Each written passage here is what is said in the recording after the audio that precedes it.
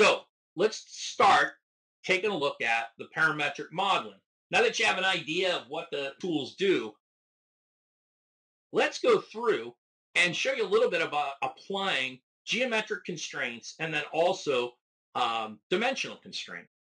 Now, a couple things, I guess, I think I got ahead of myself there, is that I wanted to just make sure that it kind of understood is that, so when you're creating the geometry, um, the more time, um, you know, that you spend in it, uh, for example, the, the constraints you saw in those last three, okay, the one that was in the middle, um, it takes a little bit of planning and effort, right? More than just plain solid, traditional solids modeling. Adding that little bit of time and effort obviously gives you a much more uh, adaptable and modifiable, um, you know, uh, piece of geometry. But there's really that time and effort is only justified if one, you need multiple instances of the design. If you only need one and you're just going to draw it once, then you're probably not going to spend the time doing that. Um, and the other thing is that all of the different, um, you know, designs that they differ from one another selectively, meaning that they're not identical or just scaled copies because it wouldn't make sense to put the time and effort into it. However, if it is something that's going to change a lot, you need more than one of them, they are going to differ uh, selectively, then certainly uh, using parametric modeling makes sense for you. Uh, and remember, this parametric modeling is really just a set of equations that's used to drive the size and the shape of the solid. So let's go through and, and draw something. The typical workflow would be we would draw a profile. So I might start with something that you guys use all the time. We use tools like and from the, and this is from, in fact, I can pick it from the drawing uh, workflow, which is typically what? A 2D workflow. We can just select something like place smart line. And I'm just going to start drawing. I don't really care the length of this, to be honest. So, you know, here's 25. It really could be anything. I'm just going to snap to the end because that's what I want to anchor it to. That actually, that blue curve that you see there is the profile that this is going to follow. And so I'm just going to kind of haphazardly draw this. And I don't really care much about what it looks like because my constraints are going to kind of dial this in for me. In fact, let me bump up my weight a little bit just so you can see it a little bit more. I realize on the preview it doesn't display very well. There, it, it displays a little bit better there. Um, if you take a look up on the drawing tabs, and now this is like a typical 2D, you know, 3D workflow. And we also have our modeling tab that's up here. You'll notice a constraints ribbon tab that appears in both of these. This contains our 2D, our 3D, and our dimensional constraints. So we'll begin by constraining this. So what we'll start doing is we're going to fix this right edge, right side, if you will, of our profile. And we want to tie it because we want it tied to this profile curve. So I'm just going to select here and put a little constraint in there. I'm also going to set the uh, fact that the angle needs to be defined on that. Okay, that's a I've been I've added two basic constraints to it. At any time, I can check my geometry with what we see here called the show degrees of freedom, which allows me to select that and say that there are five ways that that can move or be modified in some way. We're going to try to get this as close to zero as possible. At this point, I could say, well, I know that the top and bottom are always parallel.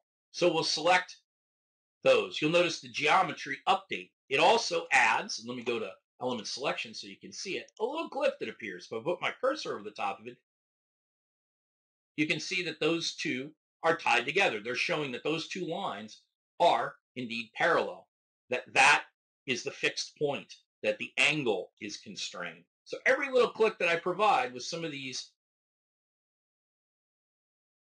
some of these constraints that you see up here will start to drop that degrees of freedom. In fact, if I take a look at it again, what was it? It was four before, still four. I haven't done much to, to change that.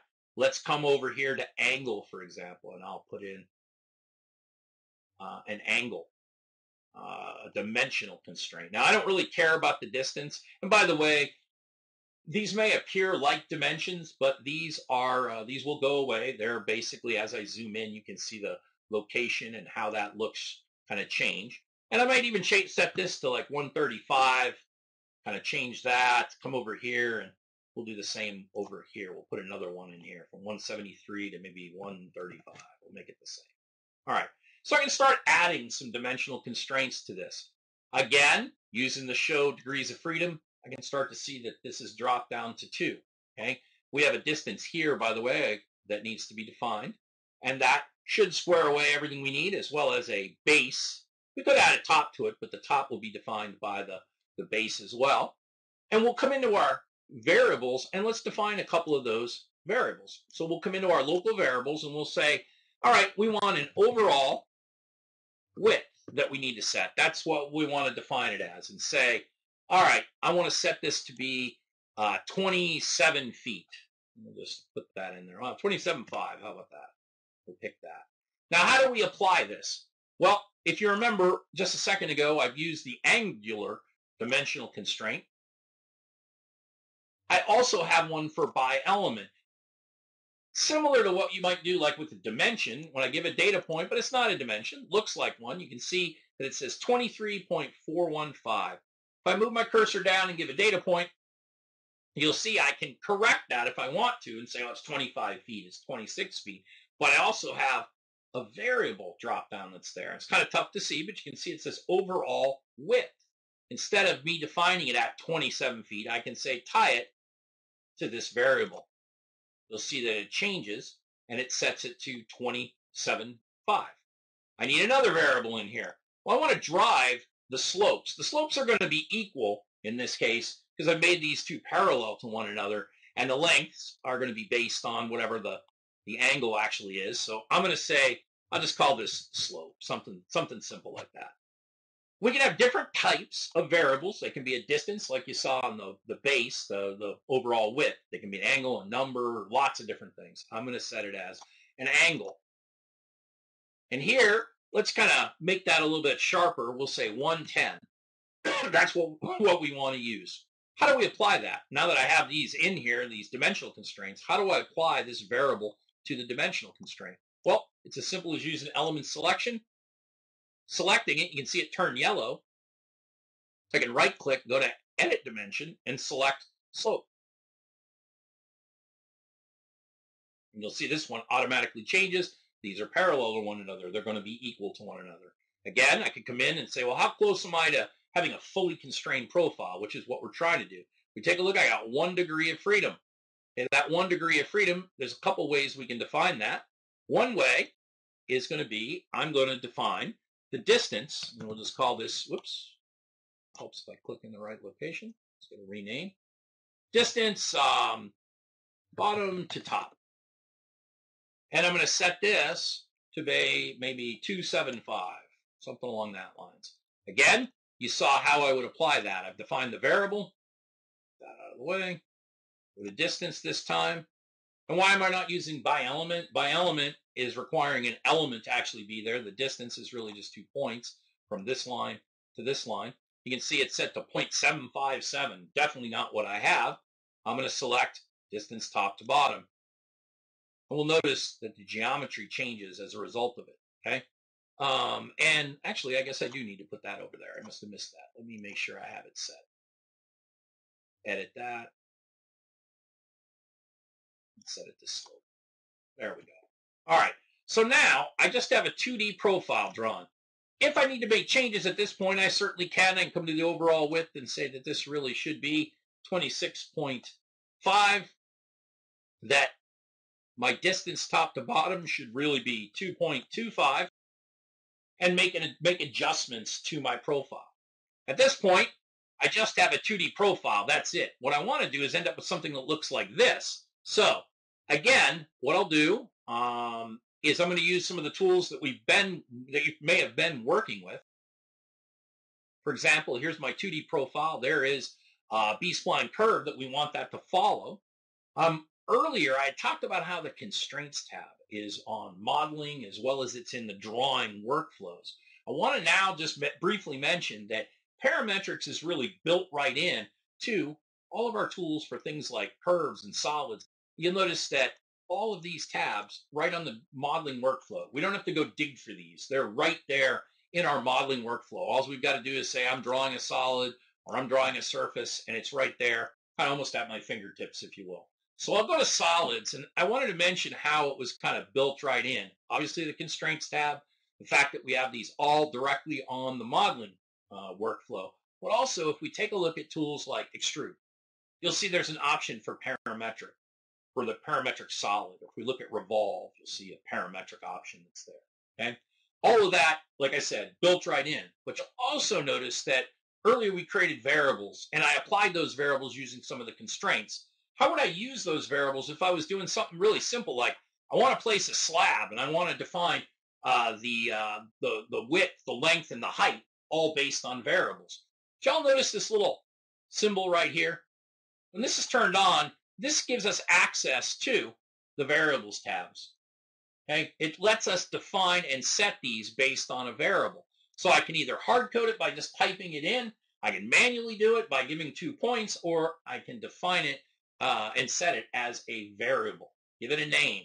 Okay, so all of these tools, all of the primitives that you see here, things like extrude, the distance, uh, cut, for if it has a, a, a, cut, if it's a through cut or a hole eh, or a hole or whatever it is, the diameter, the draft angle, all of these things have access to what you see under constraints and variables. So this is what I mean by it's kind of baked right in. It's it's built right into all of the workflows within MicroStation. So without having to listen to me too much, let me go to solids. Let's go to extrude along. And let's push our little profile along that. Uh, I want to make sure the path is shown just so you can kind of see it. Is that I'll start by just picking the uh, the path. I'll pick the profile and I'll accept it. All right, so there it is. It's drawn. Nothing too exciting here, but let's make this so we can see it. Uh. And let's just rotate this up so you can see the original profile. Now, why, why do I want to show you the original profile?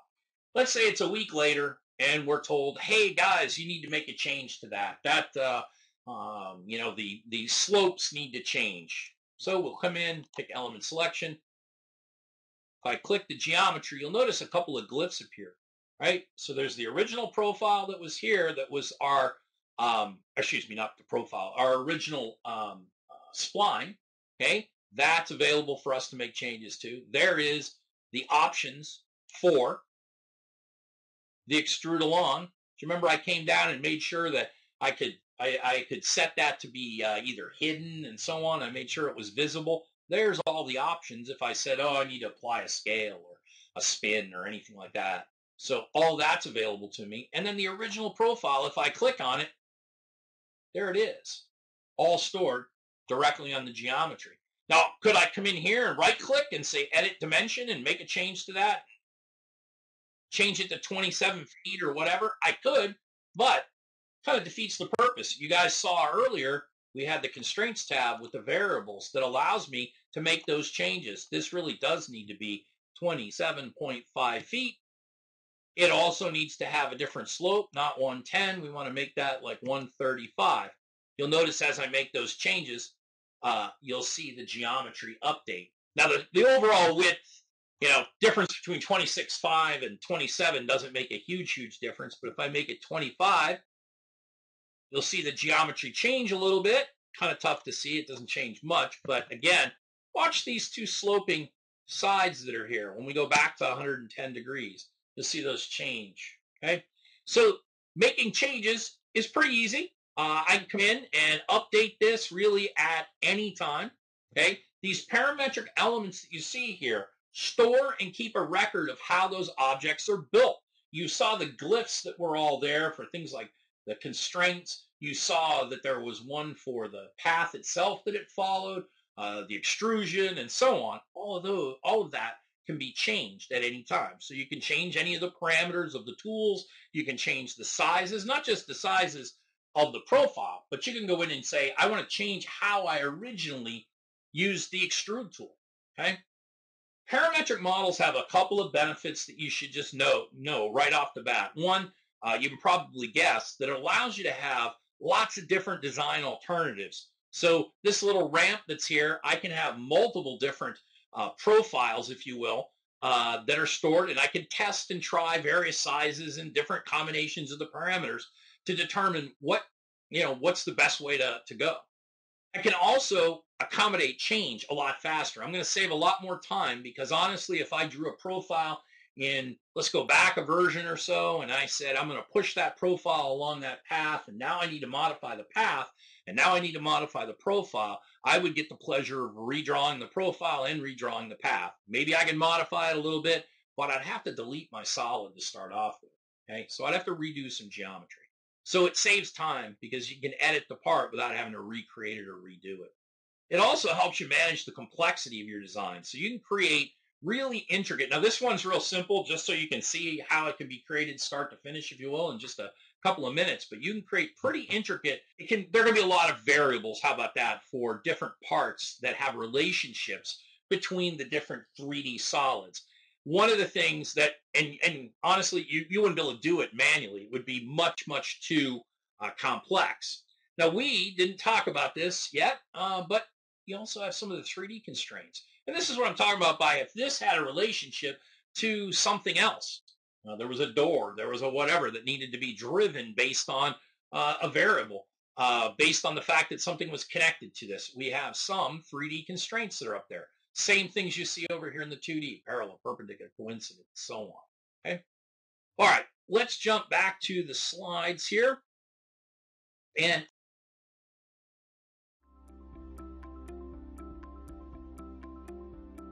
If you found this video helpful, please give it a like. If you want to see more such series, consider subscribing to our channel. Thank you and see you next time.